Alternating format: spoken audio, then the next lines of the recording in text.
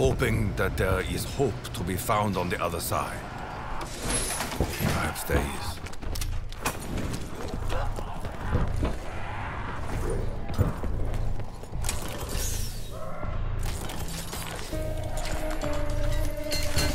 A forbidding aura surrounds this sphere.